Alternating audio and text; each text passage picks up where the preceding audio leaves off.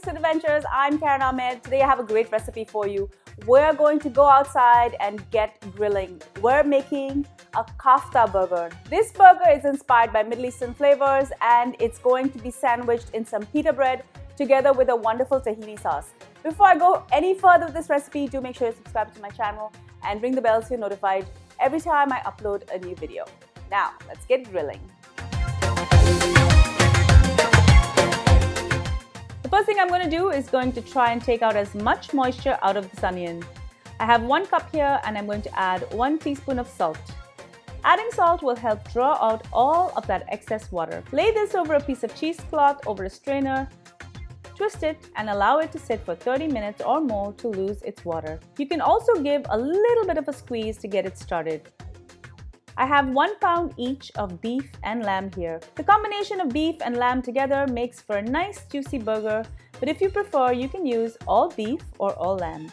I'm adding 2 tablespoons of kafta spice. You can find this at any store that sells Middle Eastern spices. I'm also going to add 1 tablespoon of red Aleppo peppers, a half tablespoon of cinnamon powder, and a tablespoon of salt or to taste. The onion has been sitting here for over 30 minutes and it's lost a lot of water. I'm just going to add this to the meat. I'm also going to add 2 tablespoons of minced garlic and a half cup of chopped parsley. Give this a really good mix. I'm also going to crush 1 tablespoon of white pepper and add this in. Like with all my recipes, I like to fry a small portion just to check the seasoning. I like to freeze my burgers even if it's just for an hour or so just to keep it shape when it hits the grill. I'm going to grab a fistful of the meat, make a flattened patty, and I'm going to stack these between sheets of parchment paper. If you've seen some of my other videos, you will know that I love to use a burger press, but in this case I decided not to as I want these to be slightly wider and flatter to go into my pitas. As I complete the stacks, I'm going to stick these in my freezer. If you're planning to store these for a longer time, just wait till they're frozen and then bag them to prevent freezer burn. The good old coal barbecue has been fired up today and we're ready to stick these on the grill. Cook these on both sides and they're ready to go.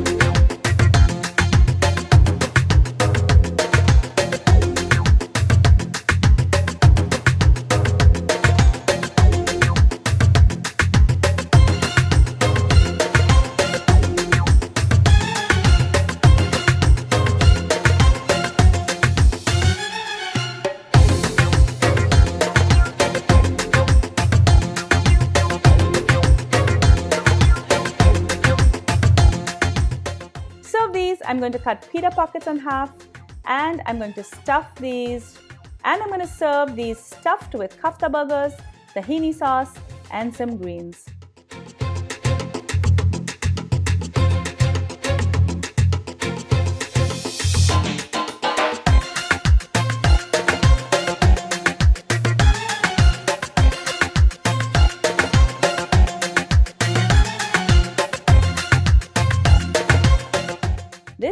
Absolutely delicious.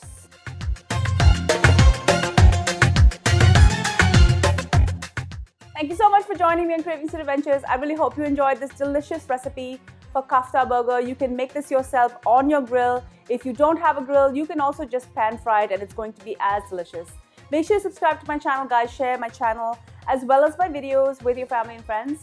And don't forget to ring the bell so you're notified the minute I upload a new video. And be sure to follow me behind the scenes on all of my social channels. I'm on Facebook, Instagram, Pinterest, and Twitter.